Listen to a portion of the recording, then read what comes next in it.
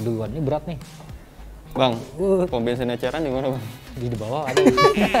Nggak ada bensinnya ini kita bawa, bawa motor gede kok ada bensinnya ya? Iya. Oke teman-teman, jadi menu kita hari ini adalah mengupas dua big bag terbaru dari Yamaha. Ini ada Yamaha MT-09 dan di sebelah sana Yamaha MT-07. Ya kita akan review Riz ya. Iya dua dong. motor ini karena ini sebenarnya potensial banget nih naked bike Yamaha yang Yang pasarnya apa ya konsumennya banyak yang menunggu ya. Bener, apalagi dengan keluarga MT tau lah. Jadi ini makin melengkapi keluarga MT Yamaha di Indonesia. MT-15, MT-25, MT-07, MT-09 tinggal nunggu MT-10-nya doang nih. Iya dong. Tapi kali ini kita review yang dua ini dulu di video ini.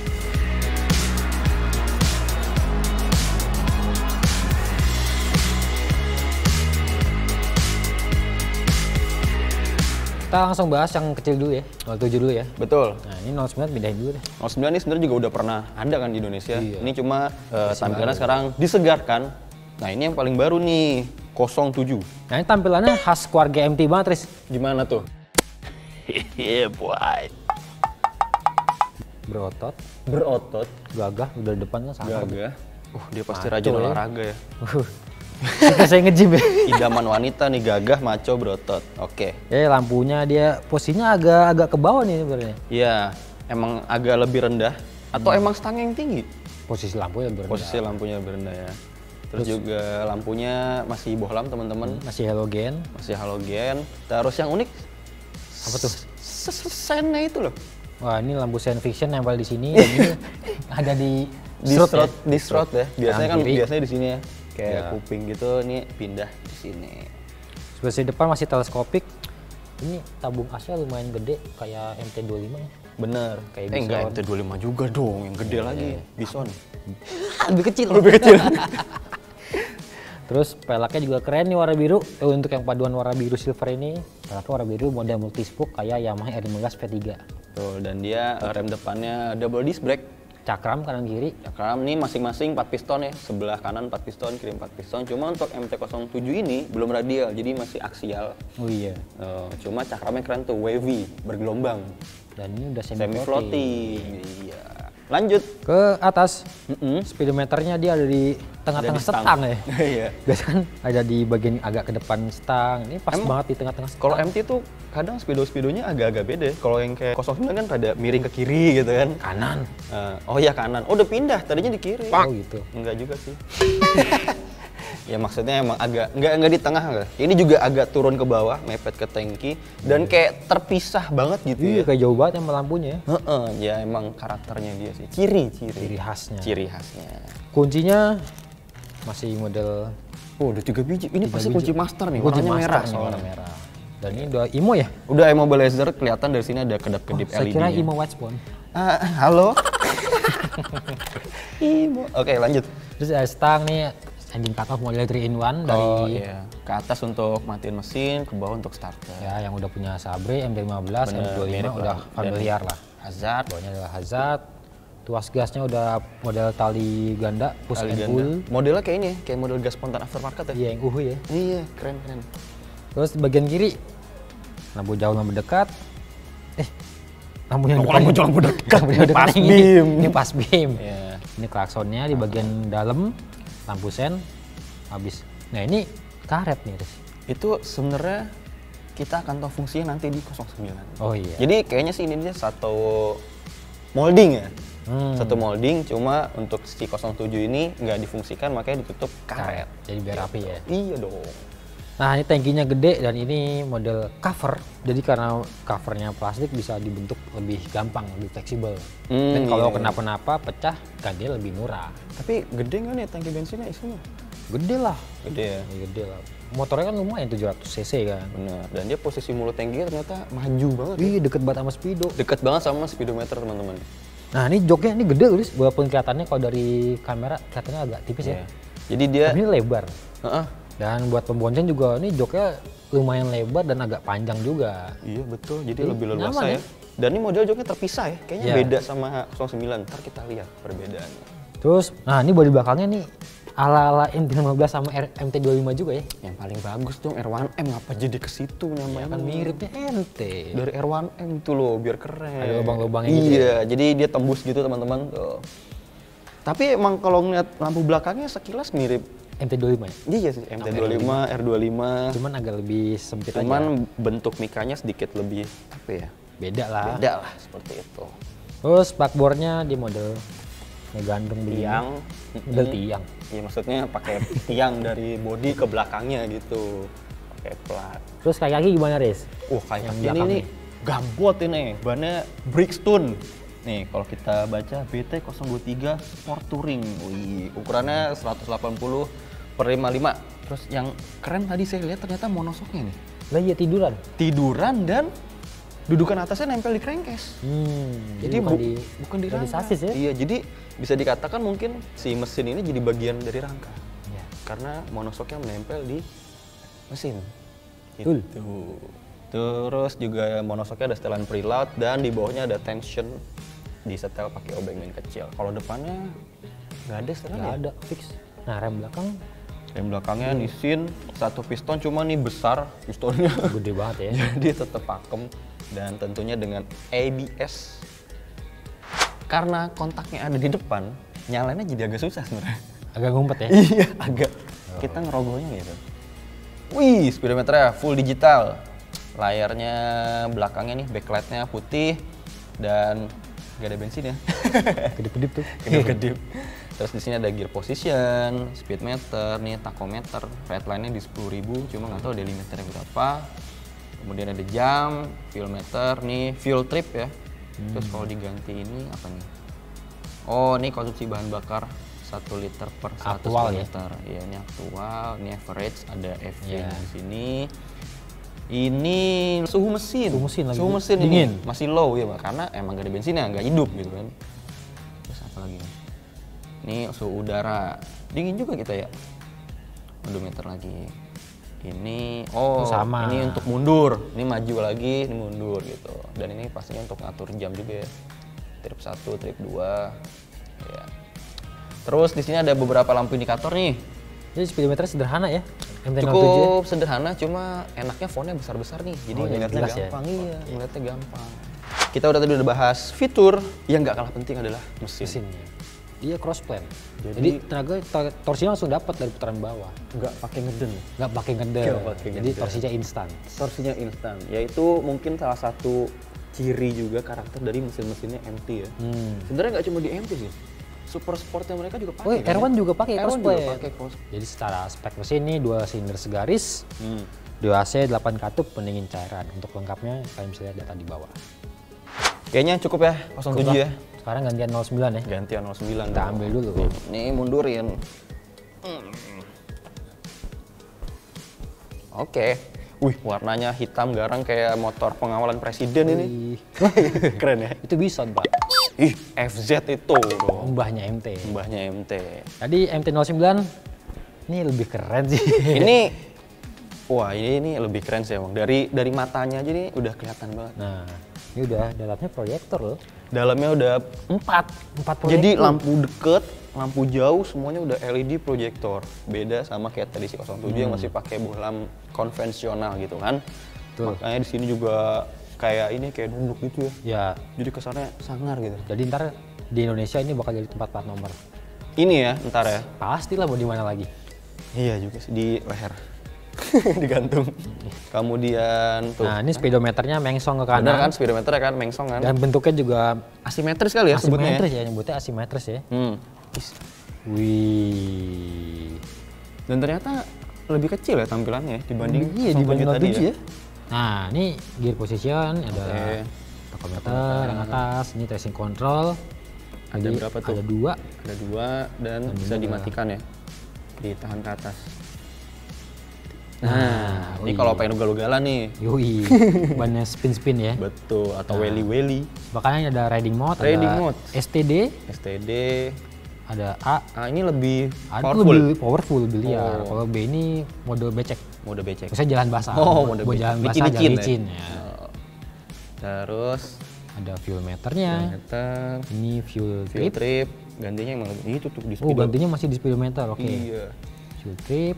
Nih aktual konsumsi bahan bakarnya, ini rata-ratanya, nih suhu mesin, Ini suhu, suhu udara. udara, odometer, trip Trip satu, satu.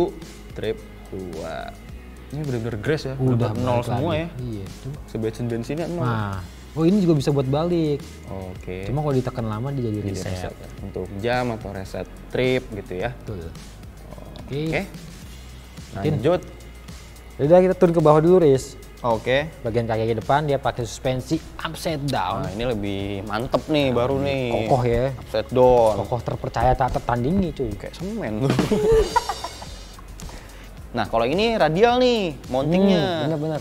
Radial mounting 4 piston dan diameter cakramnya kayaknya lebih besar ya dibanding 07 ya. Tapi modelnya bukan ini ya. Enggak wavy ya bukan modelnya. wavy ya. Dan ini Brembo juga vendornya teman-teman. Brembo juga. Peleknya model multispoke sama kayak MT-07 Betul. ala R15 V3. Terus lampu sennya ada di strut tapi ini posisinya lebih ke bawah Riz Oh, lebih rendah nggak? lagi. untuk tankinya. Huh, ini cover juga? Wah, langsung besi. Oh, ini asli. Asli lah. Nggak pakai cover. Dan ciri khas MT-09 nih, strutnya itu kayak ada Air scoop. air scoopnya gitu ya. Oh, keren. Jadi makin maco. Keren, keren, keren, keren. Kalau kita intip shocknya, Oh, ada setelannya ya? ada setelannya. Jadi ada setelan preload yang gede nih pakai kunci berapa ya? 12 atau 10? 12 lah. Terus ada yang pakai obeng min, sebelahnya untuk compression, yang ininya untuk rebound. Jadi setelan Lebih komplit tadi. Buat informasi di MT-09 sebelumnya ini kagak ada. Oh, enggak ada. Baru Jadi berarti shocknya bener-bener ya standar aja. Upside down tapi tanpa setelan. Tanpa setelan ya? Oh, ini lebih lengkap nih, pantesan. Terus kalau di area setang nih mirip-mirip sama MT-07. Mm-mm. Yang kiri ada lampu jauh, lampu dekat, pass beam di depan, klakson, lampu sen, terus ada switch buat tracing control. Tracing Ini bedanya di MT-07 tuh. Oh iya, yang tadi di Yang tadi kan ditutup di karet tuh. Nah ini pakai nih buat tracing. Oh, jadi kalau di sana traction control, eh ada nggak sih? Kagak ada. Nggak ada traction control ya? Nggak ada. Oh my god. Nah di sini ada nih. Tuh. Sini ada. Nah ini fungsinya teman-teman yang tadi di sana tutup karet untuk nyetel traction control. Geser, setang sebelah kanan. Engine cut off model 3 in 1. Ada tombol buat riding mode. Oke. Terus lampu hazard. Oh, ini juga mirip kayak 07 tadi ya. Bedanya ini ada tombol Buat mode riding mode-nya. di tengahnya. Tuas gasnya model push and pull ala gas spontan yang uhui. Dua kabel, uhuy. Terus dia setelan rem nih ada di 5 step. Ya, bisa bisa disetel jaraknya tuh. Oke. Sama itu juga ada. Cuk cuk cuk seperti itu. Yup. Yuk. Nah, ini joknya beda nih sama yang 07 nih. Ah iya bener. Kalau tadi itu di 07 joknya terpisah antara pembonceng dan pengendara. Di 09 ini nyatu. Tapi tetap ya ini lebar banget nih enak. Tapi sebagai sini lebih ramping loh. Oh iya bener. Ini malah kalau ngeliat di sini kayak jok motor cross ya. Trail ya. Tipis ya? Kotaknya, Iya Nggak terlalu kotaknya lebar. Kecil banget. Kan busanya lumayan empuk, tapi kalau dilihat dari kamera pasti kelihatannya tipis. Kelihatannya tipis. Tapi yang belakang memang tipis. Hmm, emang tipis banget. nah ini lampu belakangnya ini beda sama yang Boleh. model sebelumnya. Kalau yang Oh, dulu itu oke. lampu belakangnya itu kayak ngegantung. Kayak Dia- terpisah gitu Iya, dari dari body. body, dari Ah. jok juga nggak terlalu nempel. Hmm. Terus sekarang jadi seperti ini. Ini udah full LED pastinya. Dengan Dan kalau- mika beningnya ya. Keren ya. Ini kalau nyala keren deh kanan kirinya ini kayak Coba dong, nyalain lampu malamnya. Wah, tuh kan. Oh jadi DRL-nya kanan kiri. Hmm, yang Oh, tengahnya keren lampu rem. banget. Coba rem. Wih, keren ya. Keren. ya. Silau. Keren, keren, keren, keren. Nah, lampu sen fiction masih ada di sini. Aduh, lampu rem fiction. Nah, bedanya lagi tuh? sekarang spakbore jadi mode guard begini nih. Pindah di bawah dan ini LED ya, lampu plat nomornya. Ada mata kucingnya dan di model sebelumnya adalah spakbore masih model ngegantung. Hmm, gantung di bodi atas ya. Yoi. Terus kaki belakang dia monosok dan monosoknya udah tiduran. Tiduran juga. Nah, buat Yamaha untuk di versi terbaru ini monosoknya direvisi juga.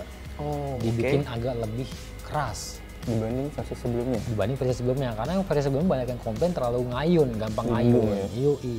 takut terlalu ngayun, apalagi knalpotnya juga kolong banget, gampang mentok. Oh, oke benar-benar. Makanya banyak yang model sebelumnya banyak ganti sok bahkan pakai solihin. Oh, oke. Yang warnanya emas-emas itu ya. Iya. Lengan ayunnya model banana ya, Swing armnya model banana, dan peleknya juga gede. tapi ternyata bannya sama nih, 180 per 55 Iya, juga. sama. Sama kayak si 07 tadi. Untuk rem dia cakram kaliper satu piston dan dari. Nissin. yang tanpa wah Yang nggak dikaleng. Iya. Itu dan pastinya rem udah ABS. ABS dong, Gila. wajib. Yuk naik. Mesinnya, iya ini belum nih. Nah ini mesinnya Ini nambah satu nih silindernya nih, dibanding yang tadi. tadi dua silinder MT-07, silinder. MT-09 ini tiga silinder. Ini tiga silinder. Mesinnya tiga silinder segaris cross plane, Oke, di AC, 12 katup, pendingin cairan. dingin cairan. Dan ini torsinya nggak diambak banget. Nggak perlu diragukan lagi Iya. sih ya. Kok saya sih sebenarnya belum pernah sih nyobain 09. Cuma yang 09 Tracer pernah. Kalau yang 09 ini belum pernah. Aku udah pernah. Gimana rasanya? Wih. yang model sebelumnya nggak ada tracing control. Uh, we die Lebih- like a man ya. Lebih liar. Uh, gila. Cuma ada riding mode kan. Heeh. dan dia kalau di mode sebelumnya begitu kontak di off ataupun mesin mati riding mode-nya balik ke mode standar. Standar.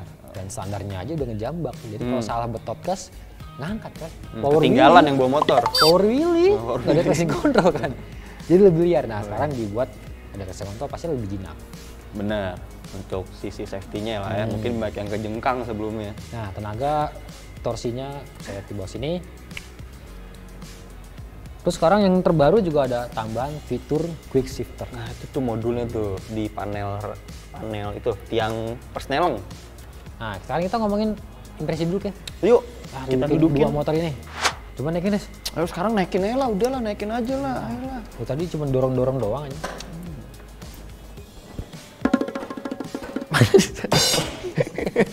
Itu kardus singkirin dulu. Oh iya, nggak apa-apa. Biar nggak bolong. Gimana? Kok aku jinjit? Hah, jinjit. Tuh, dikit sih. Padahal tinggi joknya 805 loh. Apa jangan-jangan saya menyusut? Iya. Mengkerut berarti. Mengkerut. Jadi tinggi jok si MT-07 ini 805 mm. Apa sih, Mak? Kalau itu berapa tingginya? 820. 820. Kaki masih enak loh napak. Kenapa yang ini ngangkang ya? Eh ngangkang, jinjit sedikit ya? Ayo. Oh, jangan-jangan karena itu sudut Oh, depan joknya ya? Iya. Dia- dia lebih ramping itu sih. depannya tuh ramping banget. Jadi pahanya nggak terlalu keganjel. Bener-bener. Kalau ini kan masih agak lebar tuh kalau dilihat, jadi masih agak ganjel. Cuma jok bagian belakangnya enak banget coy. Lebar ya? Lebar banget. Jadi seluruh pantat kita tertampung, Tertopang. tertopang. Oh, iya. Dan Ini juga loh. suspensi belakangnya sih, kalau ini lembut banget ya. Tuh. Bisa dilihat teman-teman. Kalau itu gimana sok belakangnya? Lumayan juga empuk. Oh iya. Tapi emang nggak seempuk yang MT-09 versi sebelumnya. Oh, kalau kurang sih Ini bisa berasa disetel sih ini ya. Ya. Ada setelan preloadnya dan tension.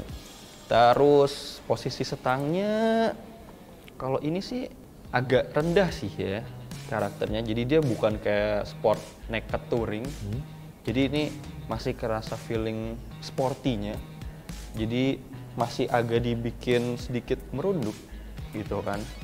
Terus posisi footstepnya juga nyaman, nggak sampai menekuk kakinya dan posisi footstepnya agak di depan. Kalau gitu gimana tuh? Ini posisi stangnya lebar. Stangnya lebar ya? Kalau dari posisi duduk sih, ke tangan masih nekuk santai ya, nggak Hmm. senunduk MT-07. Dan ini karena posisi lampunya ada di bawah dan rendah, Kayaknya kosong ya. jadi berasa kosong. Bahkan cuma ada setengah speedometer doang. Speedometer juga kecil gitu kan. Iya. Terus pijakan kakinya ini sejajar sama posisi saya duduk. Kaki masih nekuk tapi ini masih oke, nyaman. Enak sih ini. Dan ini feelingnya kayaknya nggak berubah sama MT-09 yang sebelumnya. Oh, Jadi mirip-mirip. Riding ini enak banget. mirip-mirip ya. Iya, dan ini bobotnya 193 kg. Bobot isi loh, bersama oli sama bensin. Yang itu berapa Ini bobotnya? lebih ringan nih, 183 kg. Oh, diskon 10 kilo ya. Diskon per kilo ya masih kerasa ringan sih. Kayak Scorpio. Enggak Scorpio juga sih gitu kan. Eh, masih oke nih kayaknya untuk harian nih. Jadi saya kepikiran pengen ini, Pengen beli. pengen Frigo. Udah punya. Oh iya. Eh, mau dengerin suara mesinnya nggak? Eh, iya dong, masa wow. mungkin nggak ada suara mesin. Gila, dua silinder crossplane, tiga silinder crossplane. Coba nih. Sini, sini, sini. Yang ini dulu nih, yang ini dulu nih, tiga nih.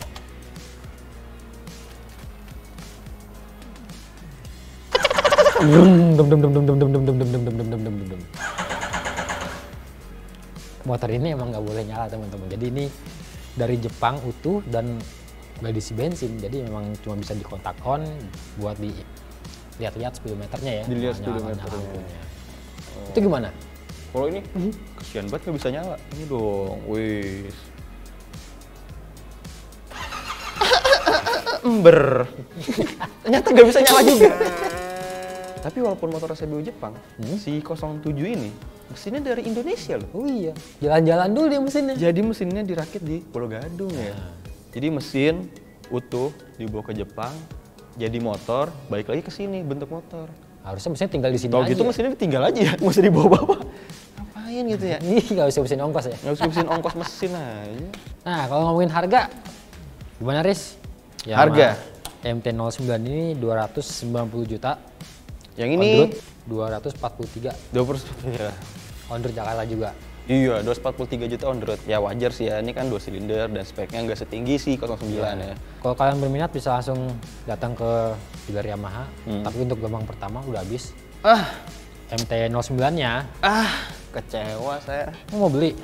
Enggak juga sih sebenarnya. Udah, jangan lupa di like, di komen, di subscribe. Kalau ada pertanyaan tulis di kolom komentar. Kalau Instagram kita otomotif underscore TV sama apa lagi?